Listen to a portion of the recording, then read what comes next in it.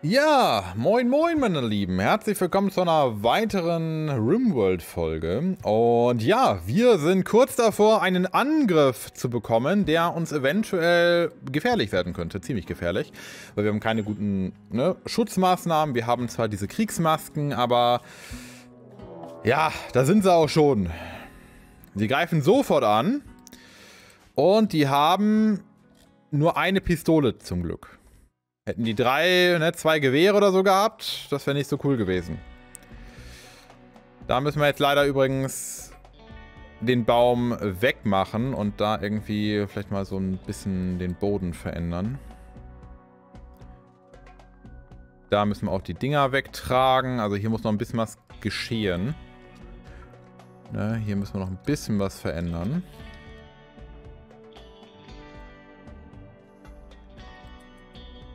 Da, da. Baum ausgraben.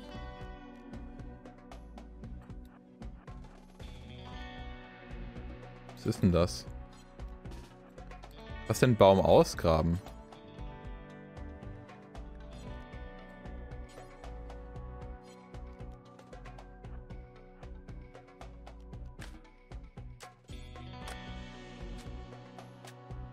Hä? Ah, cool. Den kann ich wieder irgendwo einpflanzen dann. Das ist schön. Gut.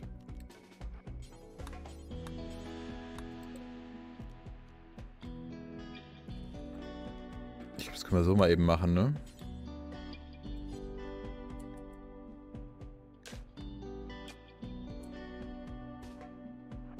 So, jetzt können wir den nämlich hinstellen. Auch wenn nebeneinander stellen ja, wie ich schon sagte, nicht ganz optimal ist. Äh.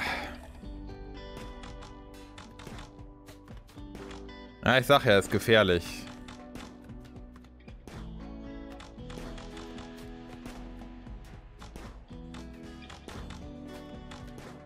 Oh Mann.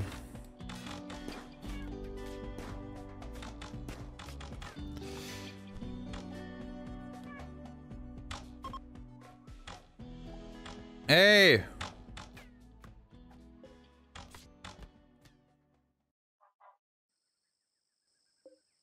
Was sollte das denn bitte? Und warum wandern die umher? Hat aber geklappt.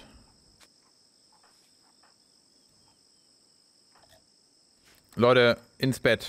Ins Bett mit euch. Alter, wie viel wir abgekriegt haben. Ich sag ja, ne, Pistolen und so, das ist richtig übel. Hier, Blutverlust, der ist bald tot. Also Mark ist vorm Ende hier. Und der geht sein Bäumchen schneiden. Während da jemand verreckt. Hm. Kannst du dich mal ausziehen? So. Was haben wir denn hier? T-Shirt. Hm.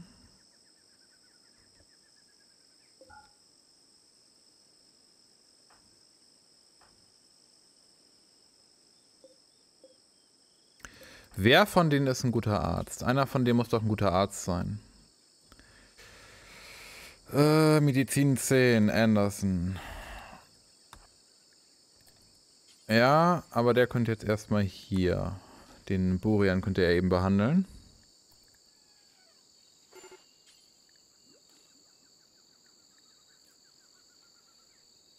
So, gleich den nächsten. Und Anderson muss dann, oder Anderson muss dann auch noch behandelt werden.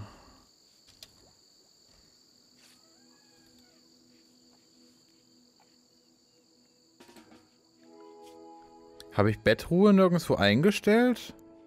Weil der nämlich nicht ins Bett gehen möchte anscheinend. Zumindest behandelt ihn niemand. Warum behandelt ihn niemand? Er, es genau, er macht schon, super. Dann haben wir das schon mal geregelt. Auf jeden Fall, die Pistole müssen wir haben. Das ist so heftig, oder? Also was für ein Unterschied das auch einfach ist, finde ich. So eine Pistole gegen so einen Bogen da. Wobei wir den Bogen, wir müssten bessere Bögen haben, dann würde es gehen. Aber müssen wir halt mehr Holz haben. Wir haben aber kein Holz, also... Hm. Schwierig. Pistole auf jeden Fall.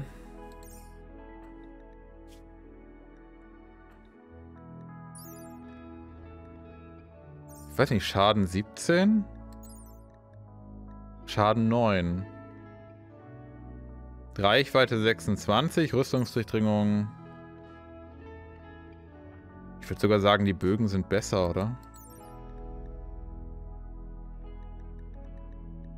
Hat zwei Sekunden Vorbereitungszeit.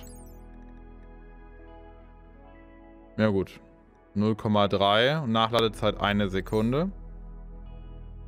Der Bogen braucht halt immer sehr, sehr lange zum Vorbereiten, das stimmt.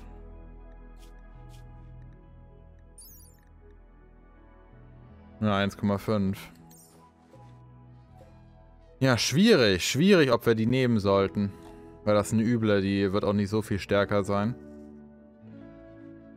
Aber wir können halt Pech haben, ne? Wenn ein Schuss mal daneben geht, sind wir tot. Ich denke mal drüber nach, wie wir das jetzt regeln können. Weil wir brauchen unbedingt bessere Waffen. Sonst wird das hier sehr schnell sehr hässlich. Und wir brauchen für den Akolyten brauchen wir da wahrscheinlich noch einen Thron, ja. Müssen wir noch einen Thronsaal irgendwo hinbauen. Wo machen wir den denn hin? Wir brauchen auch noch hier ein Krankenhaus. Brauchen wir auch noch. Können wir dann wahrscheinlich hier hinbauen. Ja. Für was haben wir denn hier? Ja, Schieferblöcke könnten wir dafür nehmen.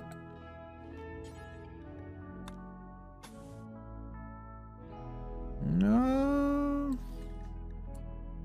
Können wir hier noch ein Krankenhaus hinmachen.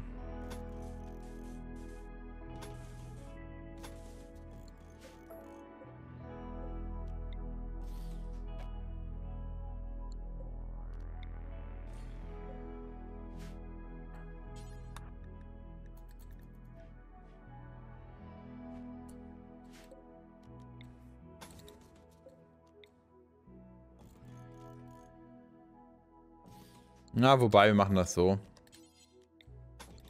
Dann haben wir von beiden Seiten, können wir dann da rein. Von der Größe her ist es mehr, als groß genug für eine große Kolonie. Äh, da haben wir schon mal für unser Futter.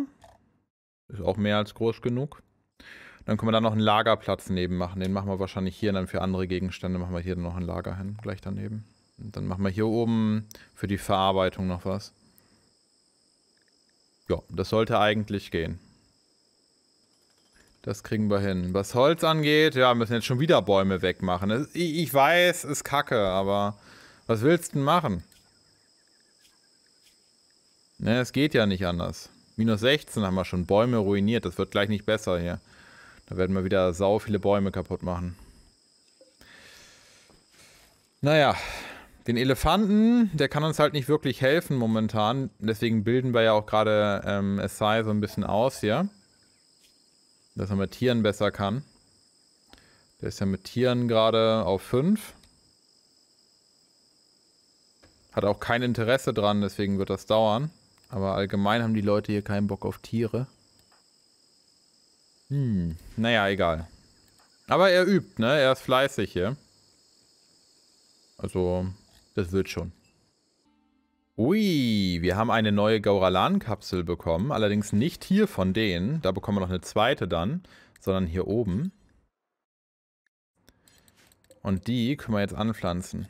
Und da machen wir hier vorne irgendwo eine hin. Ich denke, die werden wir hier irgendwo hinpflanzen. Ich weiß noch nicht genau wo. Da ginge das auch.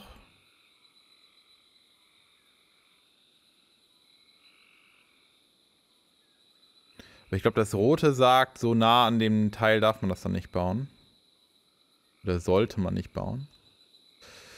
Hm, das ist schwierig.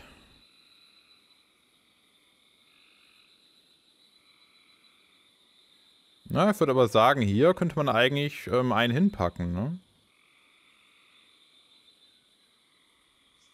Wobei eher hier. Dann können wir uns so ein bisschen die, äh, nach links ausbauen, hier auch nach rechts so ein bisschen, aber dass wir hier dann noch die Bäumchen hinpflanzen.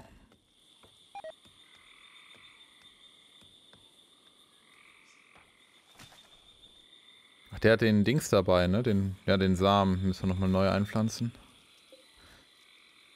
Ach, ist, ist noch immer okay. Ja, die Frage ist, lohnt sich das so, das da hinzupacken? Ich möchte eigentlich... Hm... Also wenn wir dann Angreifende haben, welche die angreifen können, die wir ja auch bald brauchen, die werden wir dann wahrscheinlich hier irgendwo hin machen, wenn wir hier ein bisschen was gebaut haben. Aber jetzt brauchen wir ja eigentlich welche, die Holz produzieren. Von daher ist es eigentlich nicht wichtig, wohin wir den platzieren. Dann können wir den einfach hier unten hinpacken. Da ist ja auch der andere. Aber eigentlich möchte ich auch hier oben gerne einen haben. Das ist schwierig, schwierig. Aber der, lass ihn da oben hinpacken. Dann, da können wir dann Holz hinpacken. Und nicht wundern wegen den ähm, Dings hier.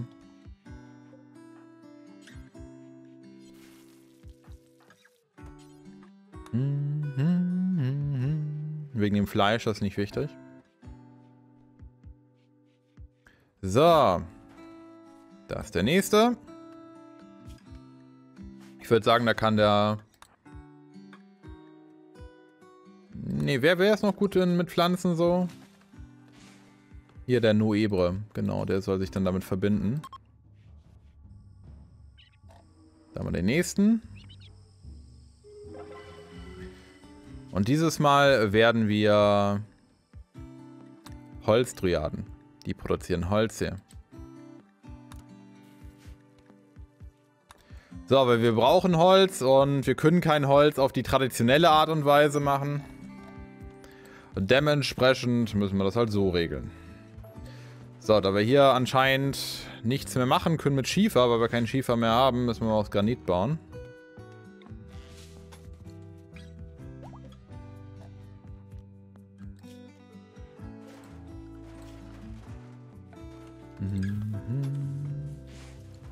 Ja, damit müssen wir ein bisschen warten.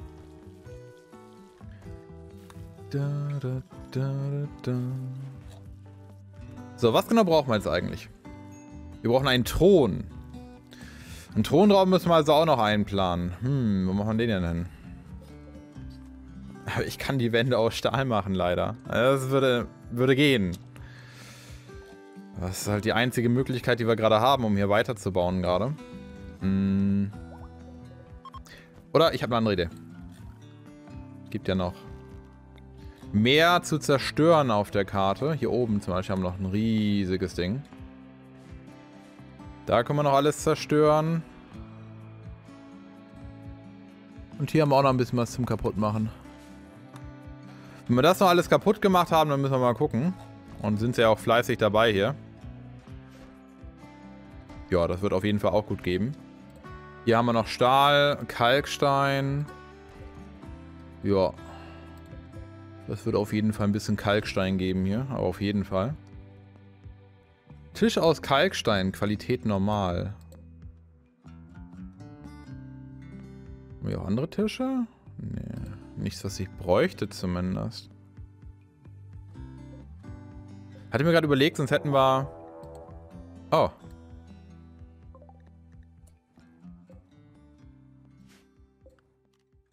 Oh, ein Revolver haben sie wieder dabei. Da machen wir einen Präventivschlag.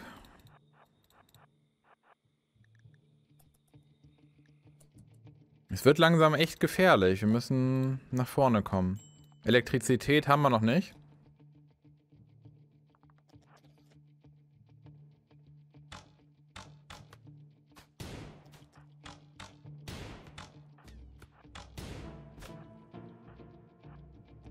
Der erste ist tot, der gefährlichste ist tot.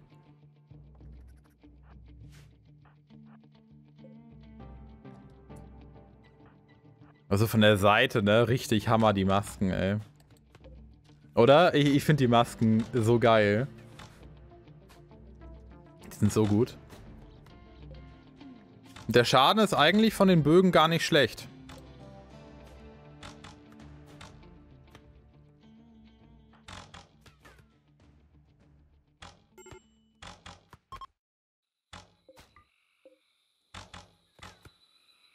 Finde ich eigentlich gar nicht so verkehrt, die Bögen. Wir bräuchten aber vielleicht noch ein bisschen bessere Trefferchance. Also einfach verbesserte Bögen bauen. Ähm, den können wir nochmal eben nackig machen. Was hast du denn so bei dir? Ein T-Shirt aus... Ja, ja, ja. Geh weg. Aber wir können mal eben kurz was machen. Und zwar können wir hier dann noch ein paar herstellen eigentlich von den Bögen. Das sind aber nur Kurzbögen. Ich will eigentlich Langbögen haben. Die müssen wir allerdings auch noch extra hier, glaube ich, ja, erforschen. 900 Langbögen. Die haben wir übrigens hier auch. Aber... Hm. Müssen wir mal gucken. Ein paar Angriffe haben wir auf jeden Fall schon überstanden. Das ist schon mal gut. Und haben keine Verletzten diesmal. Das ist sehr, sehr schön. Leider fühlen die sich auch gerade nicht besonders wohl. Der rechte Arm abgeschlagen. Oh. Isai hat einen Arm verloren.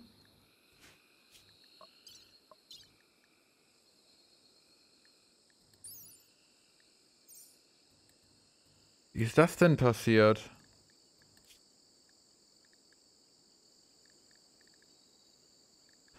Das kann ich hier nicht nach nachvollziehen, leider. Scheiße. Ihm fehlt ein Arm. Was mache ich denn jetzt?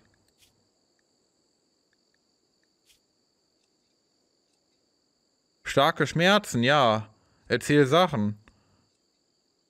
Will Gauralan-Verbindung. Ja, kann ich dir nicht geben, weil ich nicht so viele Gauralan-Bäume habe.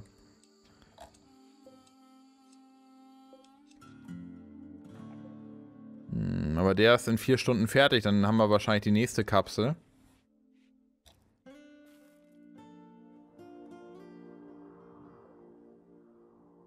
Ja, Leute.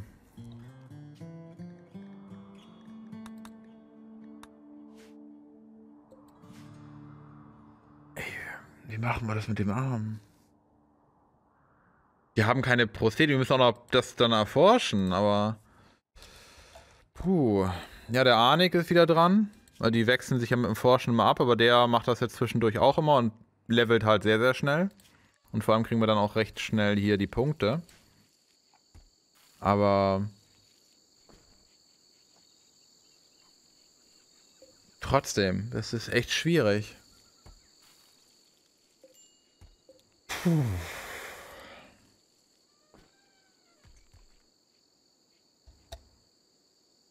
Wir gucken mal, wir gucken mal. Vielleicht können wir auch irgendwo eine Prothese kaufen.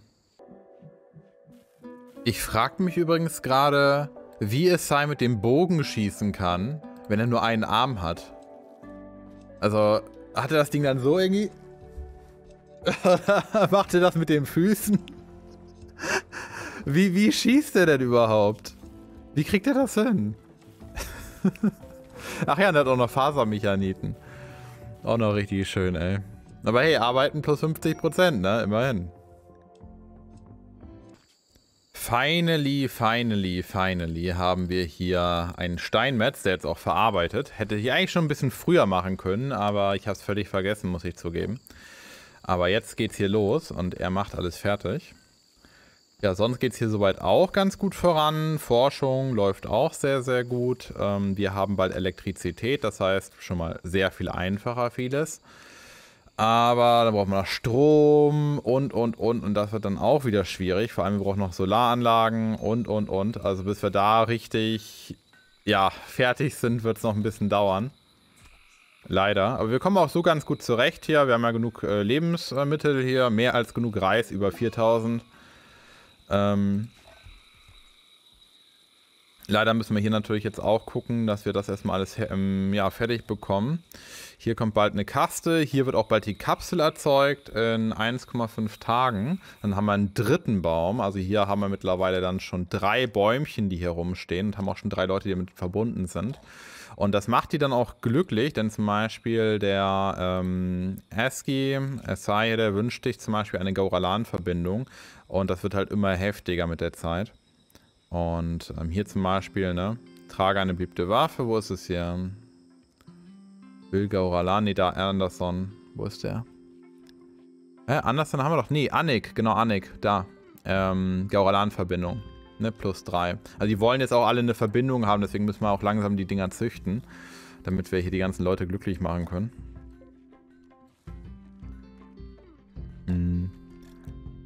So, schauen wir mal. Wie wir das alles hier geregelt bekommen. Hm.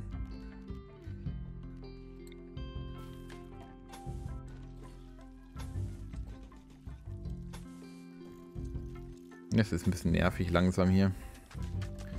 Deswegen machen wir da mal Beton hin. Damit die da nicht mehr wachsen können. Gut, wir hätten auch das Dach erweitern können, aber... Ne? So geht's halt auch. So. Da bin ich mal gespannt, ey. Aber momentan ist es sehr viel warten, ne? sehr viel erstmal arbeiten lassen. Es ist sehr ein kleines Wartespielchen gerade, muss ich ganz ehrlich sagen. Also das ist momentan das, was ich am meisten tue, warten. Weil wir, ja, das hätte ich mir jetzt eigentlich hier auch sparen können, weil jetzt kann ich eigentlich auch den, schon den Schiefer hinpacken.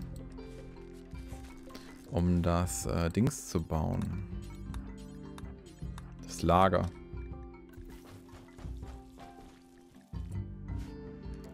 So, einmal Schiefer. Ja, das ist eigentlich so die Minimumgröße meiner Meinung nach, so für ein Lager.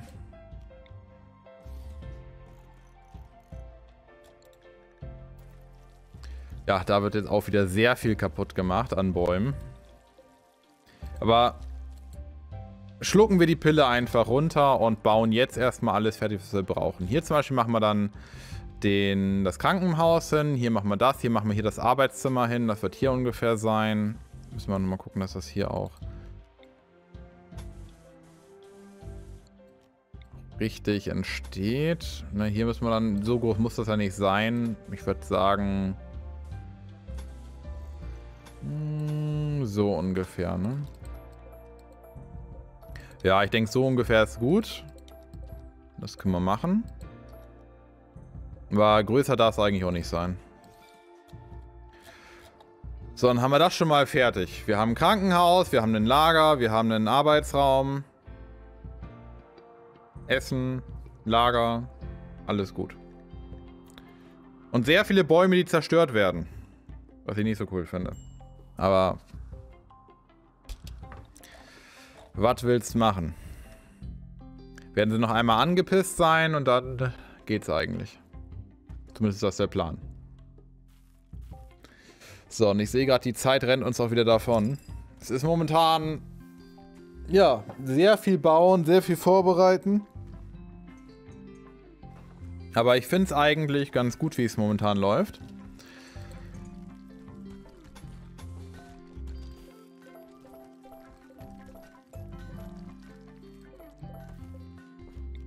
Ne, wir wollen ja den Trend hier schön beibehalten. Zone erweitern.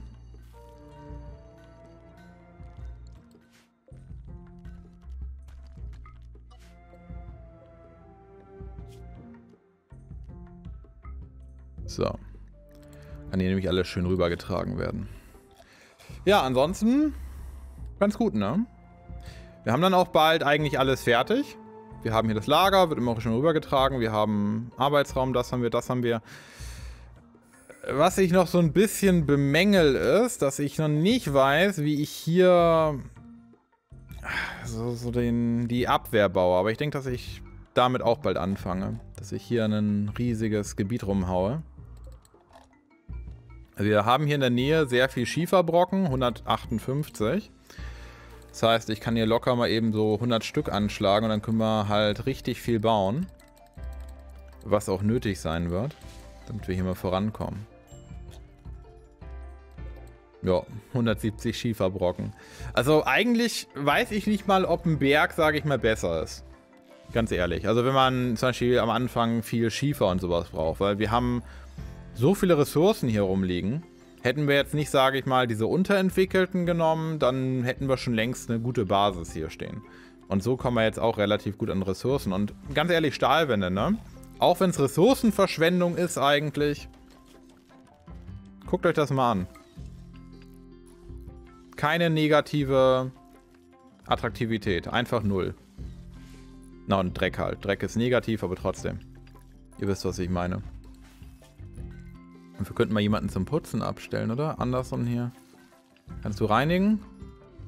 Wenn du nicht gerade Bergbau oder forscht, dann könntest du ja hier irgendwo mal ein bisschen den Putzlappen schwingen.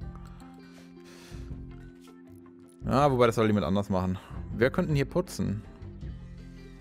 Wenn Marc gerade kein Handwerk macht oder genau, kocht, dann kann er putzen. Vielleicht mal eine gute Maßnahme. Ja gut, ich bin auf jeden Fall gespannt, wie es weitergeht. Ich bedanke mich dann fürs Zuschauen, wünsche euch noch einen wunderschönen Tag. Wenn es euch gefallen hat, däumchen nicht vergessen. Bis zum nächsten Mal und tschüss.